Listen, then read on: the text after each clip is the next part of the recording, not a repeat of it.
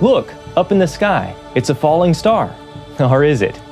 If you've ever seen a bright glow streaking through the sky at night, you probably have already guessed it's not an actual star. There are millions of particles that hit Earth's atmosphere every day. They range from the size of a grain of sand to several meters in diameter. And when they strike our atmosphere, they're traveling at tremendous speeds, up to 150,000 miles per hour. That's 75 times faster than a rifle bullet.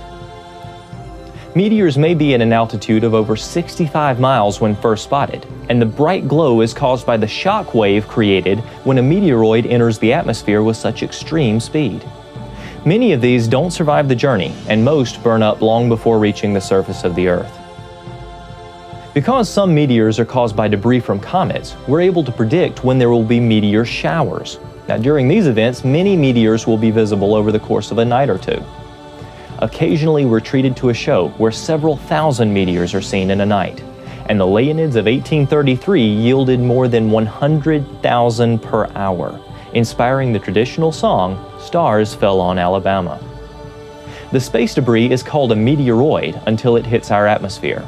Then it becomes a meteor as it flashes across the sky, only to become a meteorite if it makes it down to Earth.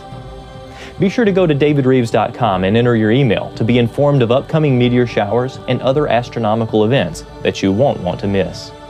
I'm David Rives. Truly, the heavens declare the glory of God. The mysteries of the universe unfold in a manner that is easily understood. Great things past finding out, yea, and wonders without number.